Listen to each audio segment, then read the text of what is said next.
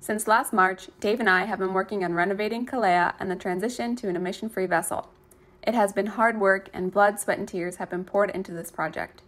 We neglected to film small projects because the seemingly easiest task took so long, given it was generally the first time either of us were doing it. Amidst the chaos that surrounded projects related to the electric motor, batteries, and solar setup, we worked on projects like remodeling the V berth, making storage space more accessible, remodeling the galley with beadboard, installing a new sink, stainless steel hardware, faucet heads, foot pumps, alcohol stove, and cabinet space, repainting behind the starboard berth, new hatch trim, making a Dodger, repainting and varnishing, a new head, bowsprit, and sails, and turning this disorganized, chaotic mess into the coziest saloon.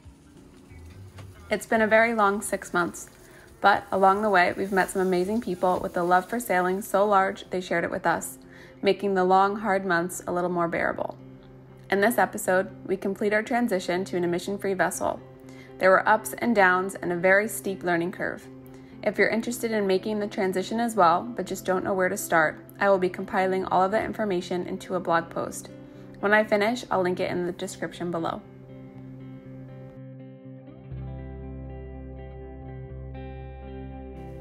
Hi, I'm Christy, and this is Dave. We live on Oahu, and this is our sailboat. We're excited to share our experience sailing around the islands with you. Welcome aboard, Kalea.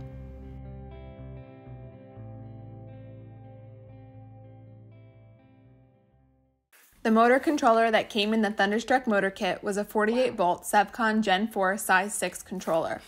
That meant we needed to run a 48 volt electric system on the boat to power the motor controller. Our initial setup was going to have four 12 volt solar panels wired in series to reach 48 volts, but that didn't work because we had no space. So we ended up with one 54.4 volt solar panel on our stern pulpit. Um, so right now I'm just kind of laying out the diagram of our electric setup. Uh, we have a 60 amp MPPT solar charge controller. It's definitely uh, too high of an amperage. Um, we didn't really know what we were getting ourselves into at the time. Um, we bought four 12 volt, 12.8 volt, 100 amp hour LiFePO batteries. Uh, we wired them in series to reach 48 volts. It's actually about 50 something and change. Uh, then there's a contactor that came in the Thunderstruck motor kit, a motor controller, and a 10 kilowatt motor. It's going to be a ground running from the contactor to the controller and a positive with a fuse.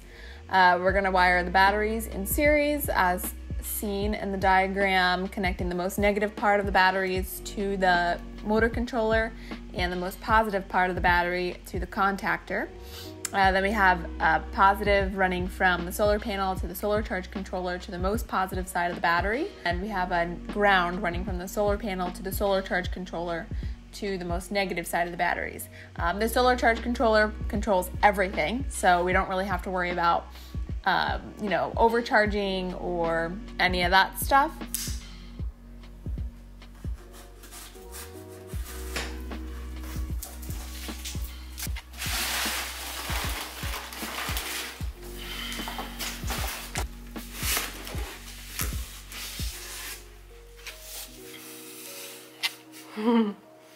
This is the gear reduction.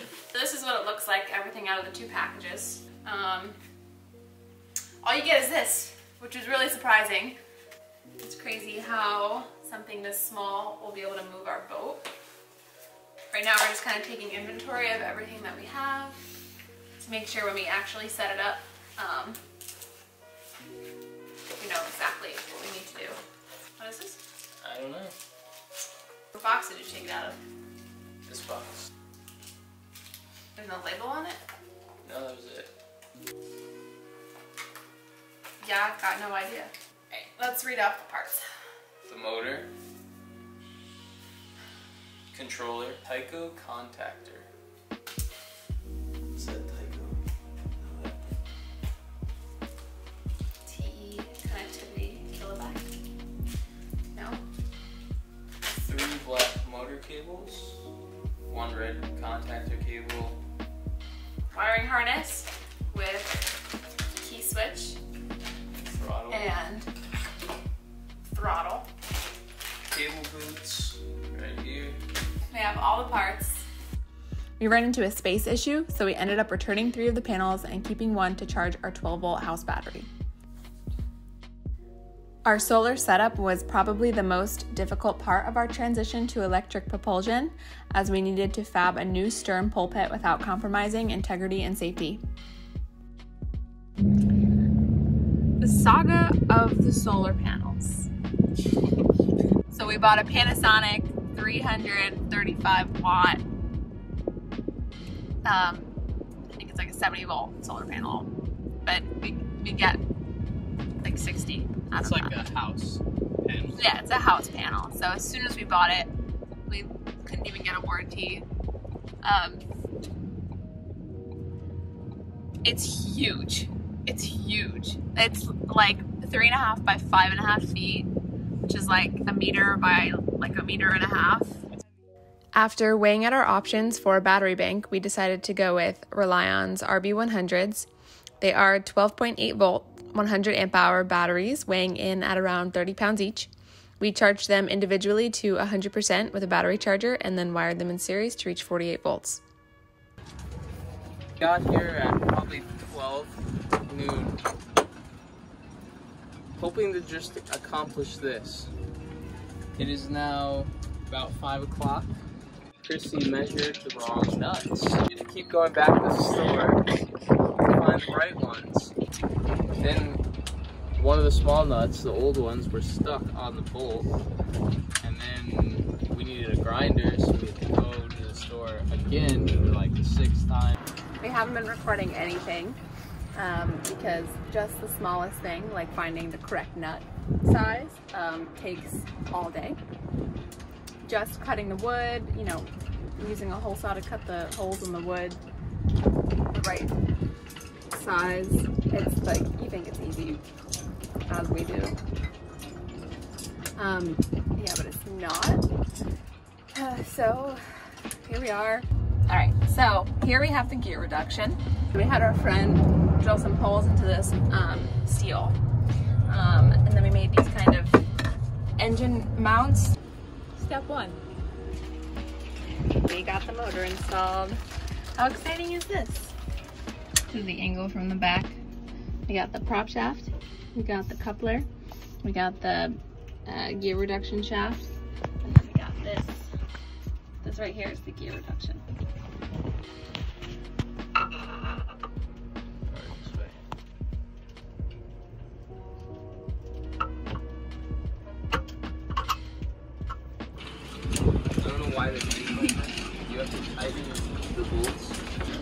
Directions say there's two pieces that he's putting on right there there's what's called a hub and then there's a pulley. And the pulley is the bigger part that you see. And there's a hub that's directly on the, the motor shaft.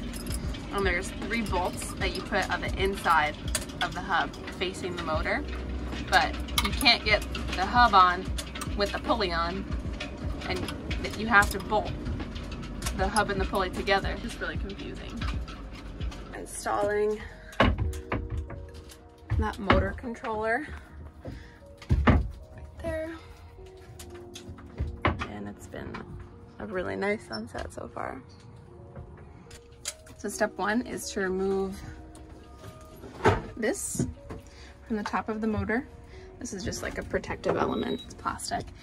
And then you attach the three black motor cables to their corresponding locations on the Sevcon controller. And they give you some pretty good instructions. Um, been following that in their video online. Right now Dave is attaching the keyway. We're gonna just keep it in the same spot we had our old one. Yeah, so far so good. The next step is to attach the motor controller to the contactor. We decided to get Ancor cables for our system. They are the recommended marine grade wires.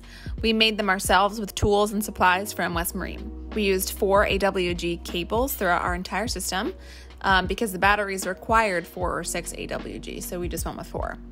If you aren't familiar with cable sizes, the lower the number, the thicker the wire. And the thicker the wire, the more efficient they are. Or, in other words, your system doesn't encounter as much resistance and generates less thermal energy, which is energy lost that could have been used by your electrical system. I'm not sure. Should work now. We forgot to connect the What? con- was it part of the contactor? Uh, no, it was just a random black wire. They didn't say what it was for. That was running from the 8 pin connector up here. So, Just part of some probably, Probably part just- of the ground. complete, yeah, complete the ground system. Okay. Moment of truth. Are there No flashes? no flashes? Oh my god, how exciting! When I mounted this, I didn't know which way was forwards or backwards.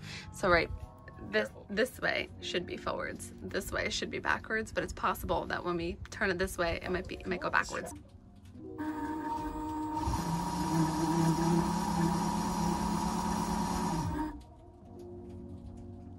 This is our Renogy Rover 60 amp MPPT charger.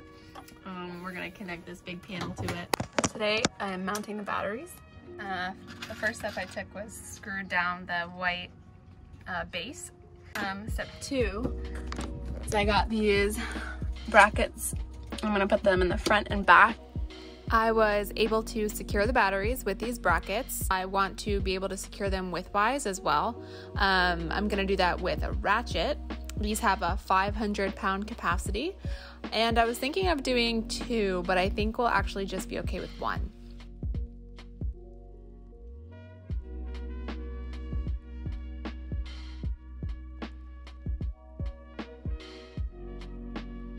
Last step we have in our electric conversion is mounting the solar panel. I'm nervous. I'm nervous too. What if we do all this work and it can't even get us out of the channel?